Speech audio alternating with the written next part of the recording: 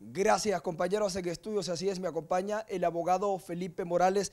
Él es el director del Instituto Nacional para la Atención a Menores Infractores. Y es que en los últimos tiempos hemos observado que los mismos han tratado de fugarse de estos lugares. ¿Qué se está haciendo? ¿Qué estrategias están utilizando para evitar la situación? Gusto saludarle.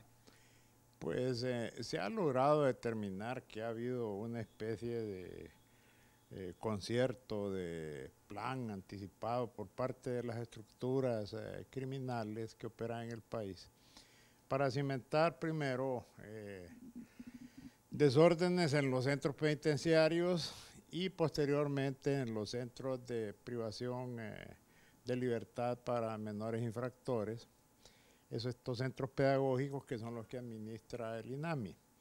Estos centros, eh, en primer lugar, no tienen una infraestructura como cárceles, eh, ni son eh, con medidas de alta seguridad que se mantienen. Son centros que están orientados a la rehabilitación y reinserción de los menores. Nuestro personal no usa armas están preparados entonces? No, no es que no están preparados, es que la normativa internacional así lo dispone. En estos centros no puede haber gente armada. ¿Deberían, por, por la situación del caso de que tratan de, de salir, deberían eh, sí utilizar este tipo de artefactos para evitar por lo menos que haya control o que haya más autoridad, que se les respete? Es que eh, estamos hablando del personal que a lo interno atiende a los menores no está armado. Los anillos de seguridad siempre han estado a cargo de la Policía Nacional y de las autoridades de Fusina, que es el caso que actualmente existe con la intervención de que estamos siendo objeto por parte de Fusina.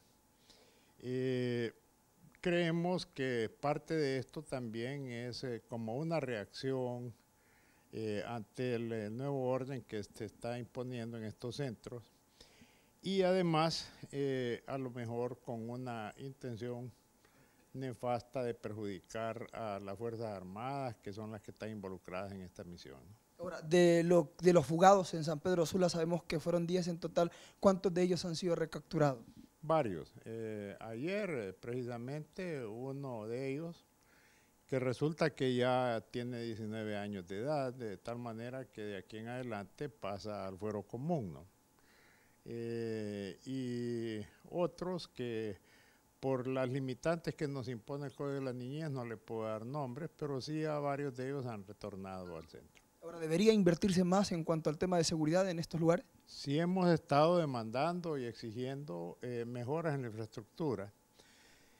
El eh, gobierno está empeñado en este momento en la construcción de un centro pedagógico ya con medidas más adecuadas a, la seguridad con normas eh, más rígidas y es en eh, también, un sector de Jalteba y está en ejecución el proceso y se nos ha ofrecido que para septiembre de este año estará concluido.